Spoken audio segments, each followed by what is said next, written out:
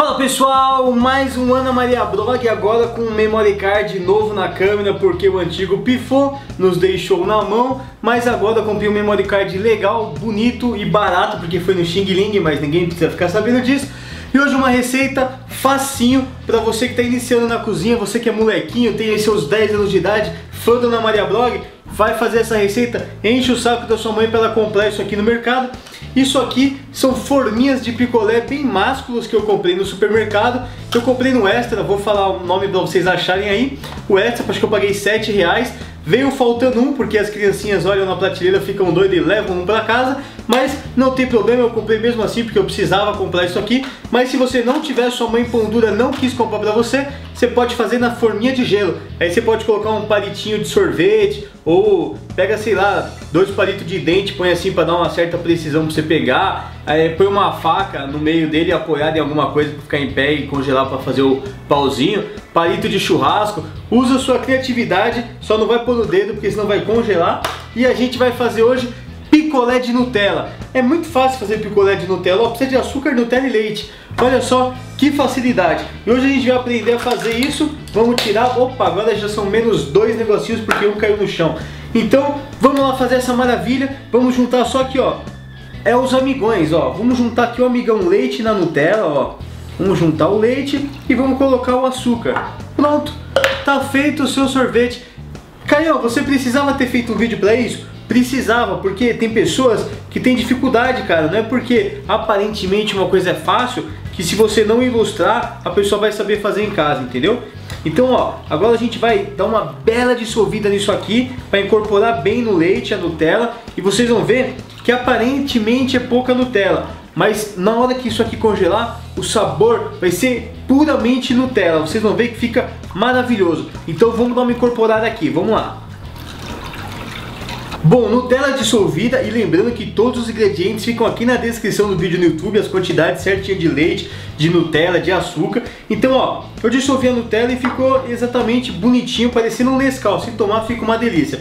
Mas, ó, o que a gente vai fazer? Eu vou colocar ele de volta nesse copinho que fica mais fácil para colocar aqui.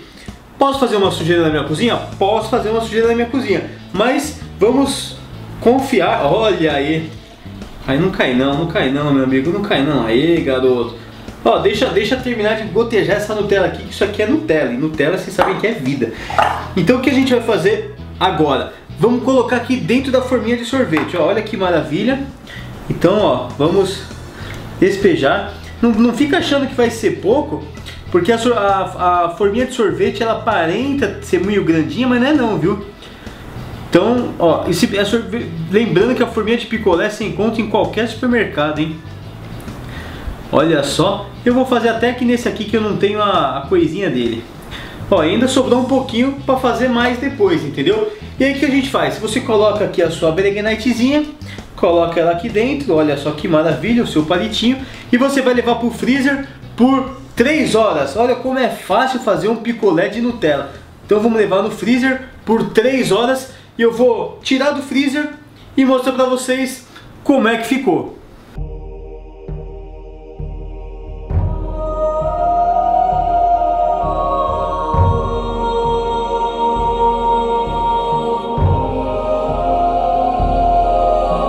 E chegamos ao final de mais um vídeo, meus amigos, olhem que delicioso que ficou aqui o nosso sorvete. Lembrando que para facilitar na hora de tirar eles da forminha, é só você molhar essa parte aqui por uns 20 a 30 segundinhos na torneira, molha o plástico, que aí ó, eles saem com muita facilidade e ó, eles ficam bonitinhos, né? Vamos provar então para ver se está gostoso? Dá licença. Hum. Meus amigos, Fica maravilhoso, não? O gostinho da Nutella é muito forte e é muito gostoso, olha. Vê se não parece um sorvete picolé desses comprados. Não, dá licença. Hum. Hum. Meus amigos, façam na casa de vocês que vocês não vão se arrepender. Fica maravilhoso. Eu não tenho o que falar mais. Não, dá licença. Então é isso, pessoal. Se vocês gostaram da receita, vocês já sabem. É só dar um gostei aí no vídeo se inscreve no canal, clica no botão se inscrever para você receber todas as receitas. São três receitas por semana, quando o cartão de memória não quebra. Mas normalmente são três receitas por semana. E lembrando O imã de geladeira do Ana Maria Blog, ó, que vem com a caneta e com o apagador, ó. Você pode rabiscar, pode escrever receita, ó, fazer o que você quiser. Ó, receita. Você depois pode vai apagando, vai fazendo de novo, quantas vezes você quiser. A caneta também é imantada. Cadê o imãzinho dela aqui, ó?